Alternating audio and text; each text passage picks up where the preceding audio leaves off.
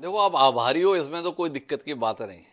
पर मामला इतना सरल नहीं है। चलिए, आप इसको टाल दीजिए कि प्रज्ञा ठाकुर जी को क्यों नहीं बनाया? लेकिन आलोक जी, आप भी मानोगे कि राज्यसभा की सीट और भोपाल लोकसभा से प्रत्याशी भाजपा का होना लगभग लगभग एक ही जैसा माना जाने लगा है।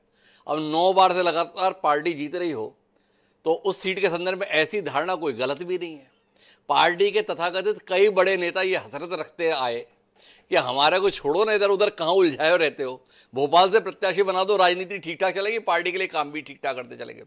तो वो बड़े बड़े नेता चारों खाने चित्त दिखाई दिए और आलोक शर्मा प्रत्याशी बने हुए दिखाई दिए।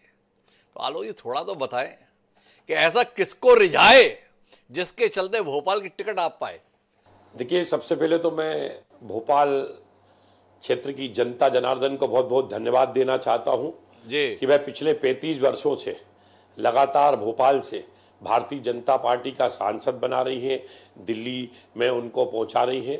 इस बार भारतीय जनता पार्टी संगठन ने मुझ जैसे एक साधारण से कार्यकर्ता को अवसर दिया है। मुझे उम्मीद है कि भोपाल की जनता जनार्दन का मुझे आशीर्वाद मिलेगा। भोपाल के कार्यकर्ताओं की मेहनत इस बार लोकसभा चुनाव में सारे जीत के रिकॉर्डों को ध्वस्त करने वाली है।